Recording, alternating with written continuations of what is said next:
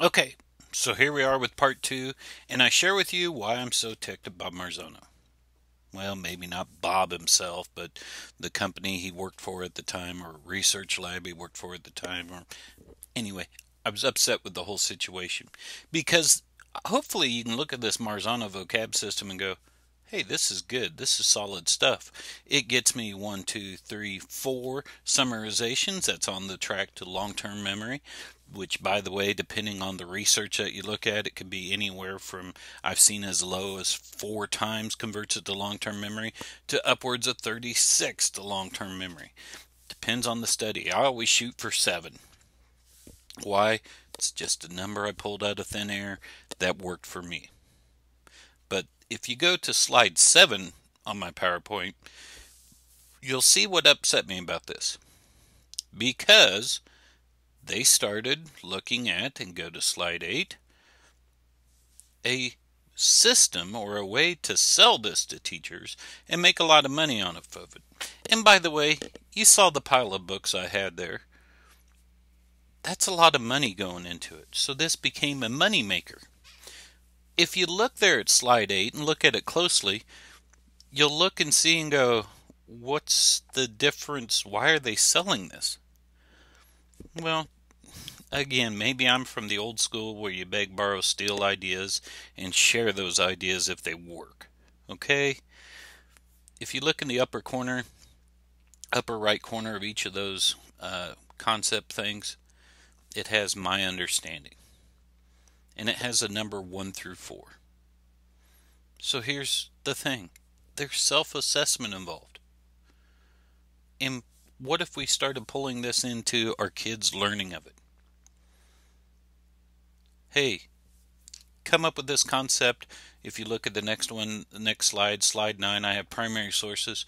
Put in the upper right corner Give me an evaluation of your understanding of primary sources after filling out this card. A 4 means that you could teach it and understand it completely. A 3 means that you think you have the idea, but you got it pretty good. A 2 means, eh, I think I understand it, but I'm a little shaky. A 1 means you were in the room consuming oxygen. Or that's how I share it with my kids. Likewise, I use eGAPS for whenever I show a little video clip for kids and they have to evaluate it. Excellent, good, average, poor, stinky. Another thing you might be able to take. I don't know. But this self assessment thing, it allows you real quickly, if you're in the classroom, to have kids give you the data that you need without much work.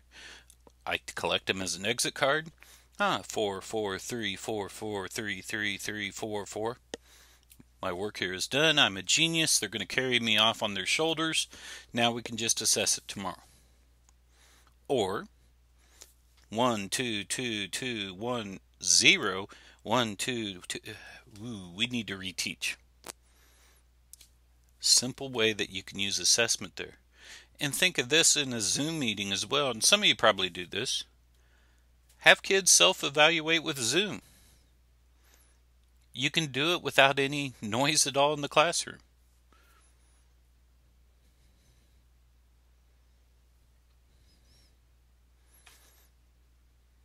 You can have kids do that in your Zoom virtual classroom as well. Just simple ways that we can get kids communicating and giving us feedback there. On slide 10, Reinforce effort and recognition in homework.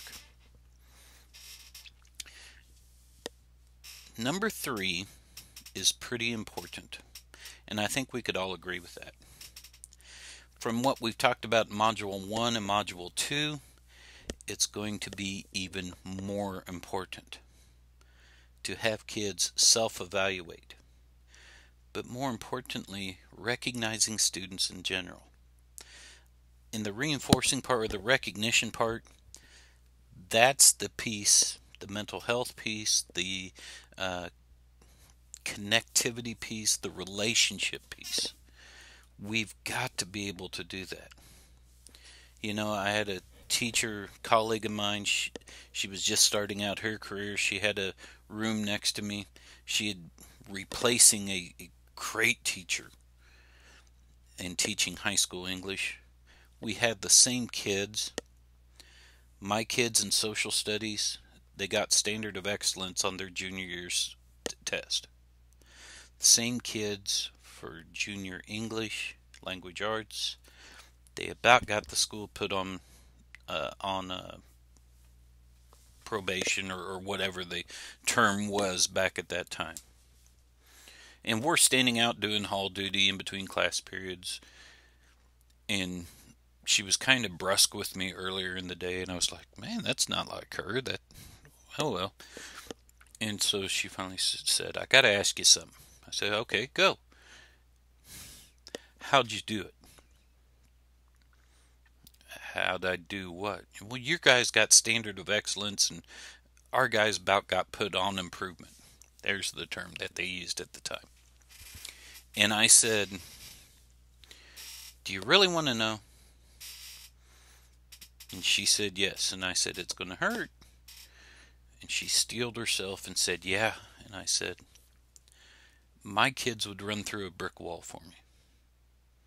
I forged relationships with them that's what I did the first two weeks of school. Made sure that they knew who I was, what I was about, what type of teacher I am, and I spend time talking with them, not at them, with them.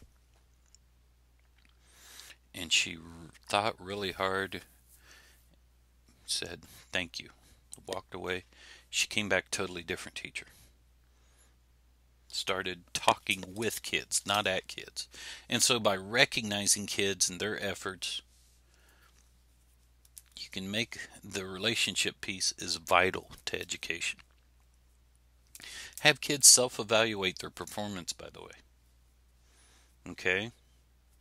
Um, on some of the projects that I did, I would have kids fill out a timesheet. Hey, what'd you do today? Da da da da da da. When'd you start? 9:05 when second hour bell rang. When'd you end? 10:02 when the second ba- third hour bell rang. What'd you do today? And I tell kids be honest on this, which is much better than having them do it at the end of a group project. I mean, when you have that relationship with kids, they're going to be brutally honest and I wouldn't have it any other way, as a matter of fact. I want kids to be brutally honest with themselves, with me, find different ways of doing it. Reinforce effort and recognition. It's going to be tough in this virtual world. We've got to find ways of doing it. Maybe it's that simple sending an email to a kid, "Hey, how you doing? You did great today. Keep it up. Those are vital things for what we want kids to do. Step or uh, strategy number four is homework. Bob Marzano caused an entire classroom, or not a classroom, an auditorium of teachers. There were about, I want to say, 500 teachers there that day listening to Bob. And I've never seen any setting that had 500 teachers where they all went, and there was silence. Bob asked, What is the purpose of homework, formative or summative? And his response shocked all the teachers. He says homework should be summative. They should have had the learning mastered already. And not to poke fun at any of our math teachers, even though they seem like the target of all of our rants. But I still remember tears in my eyes, struggling, doing a massive math assignment due the next day, problems 1 through 80 even. Because the odds, the answers were in the back of the book.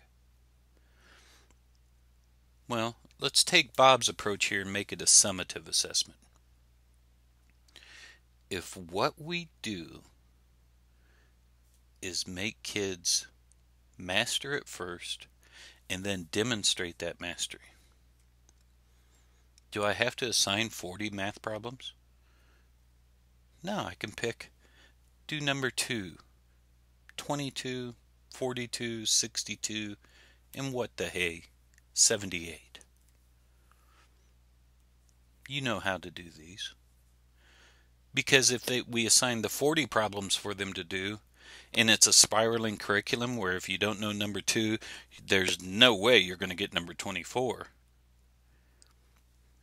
What are we doing to kids there? And let me just use this as an example. My middle son, who is very smart, but only wants to work on what he wants to work on, well, the way he makes it through math every now and then is to copy his buddy's assignment. And he, he'll take a chewing from mom and dad, but he gets the assignment done. Did he learn anything? No. Think of this in our virtual setting, though. If we can still find a way to make practice and the formative learning of it a non threatening, a non involved process, then we can use our technological devices for summative assessment. And then we can use them finally as this grand summative assessment, maybe a performance assessment, maybe an authentic assessment. We can find ways of make maximizing our time and again going back the essentials that becomes the key to this finally or not finally but the last one for this video Strategy 6 Cooperative Learning. If you look at slide 11, it gives you the overview of it. I'm a Kagan guy. I was trained in Kagan back in 1996. Okay? Cooperative learning, true cooperative learning, there are roles to play. Now, if I had all of you in a classroom right now, I'd say I would imagine most of you, when assigned a group project, took the approach that you told one of the kids in your group stay away from everything, don't touch anything. I've got this because I don't trust my grade in your hands. And I know that because you're teachers. Probably about, I'd say, 70% of you would have responded at least to one of your group mates like that. You may not have been as mean about it as I just demonstrated, but that's what happened. True cooperative learning has roles to play, has positive interdependence, individual accountability, equal participation, and simultaneous interaction. The Kagan folks call that PIES for the acronym for it. And when we come back for part three of this video, I'm going to shove some pie in your face and show you some of the roles that you can formulate for a cooperative learning experience online. Catch you in a second.